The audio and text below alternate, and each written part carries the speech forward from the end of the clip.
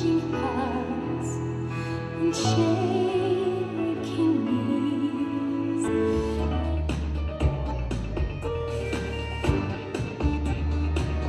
робкого, но статного мальчика в страстного покорителя зрительских сердец. Сцена не любит фальши. Выкладываться нужно на все сто. Тому же Виктор Яуфунтан учит теперь уже сотни своих подопечных. Сегодня мы должны показать шоу. Сегодня у нас юбилейный концерт.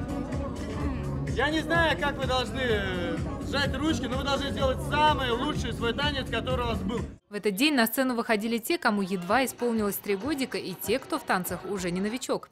Несмотря на свой юный возраст, Алина зажигает с любителями хип-хопа уже пять лет и дает указания девочкам помладше. Ведь если что-то пойдет не так, их самые неравнодушные зрители в лице родителей расстроятся не меньше самих артистов. Они, мне кажется, больше нас волнуются. Да, потому что они хотят, чтобы у нас все получилось, мы хорошо станцевали, у нас, ну, чтобы было все четко, в ритм, в такт, чтобы синхронно, чтобы у нас были эмоции на сто процентов. Видео и фото из прошлого как напоминание о том, с чего все начиналось. Сейчас за их плечами десятки чемпионатов и побед. Это не просто танцы, это истории. Что-то хорошее,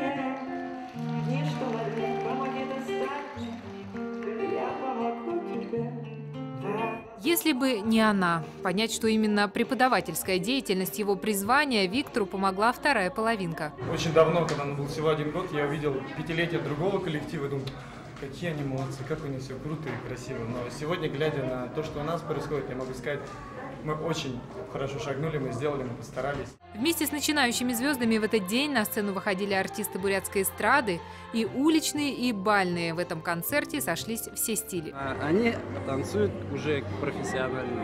Отчетные концерты, они танцуют очень хорошо. Концерт получился на славу. Ребенок хорошо занимался в течение года. всегда красочно, весело. Задорно, будем так говорить. Ася Касьянова, Сергей Петров. Новости дня.